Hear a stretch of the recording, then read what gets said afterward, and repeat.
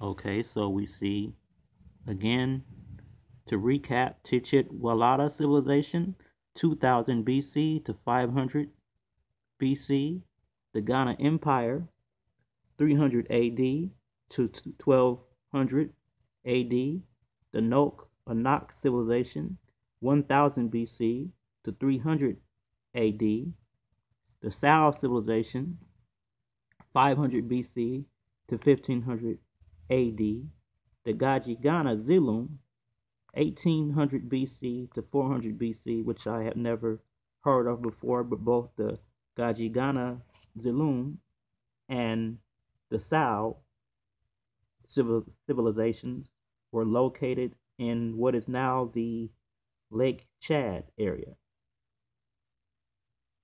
And others you can clearly see. The shaded areas of Western Africa, where most African American ancestors came from, shows evidence of civilization civilizations that go back to at least 2000 BC.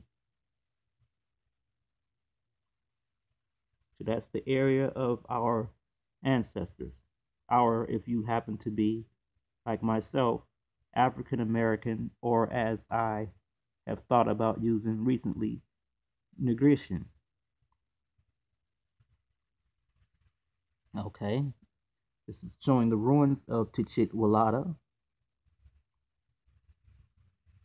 And it was located in what is now the state of Mauritania. And we can see that Ghana was located in parts of Mauritania, as well as Senegal and Gambia and Guinea. And it seems to have had a frontier area coming into Ivory Coast, Sierra Leone, and Liberia. We also see it located partly in Mali and Burkina Faso. For the Nok civilization, we see that located in what is now Nigeria.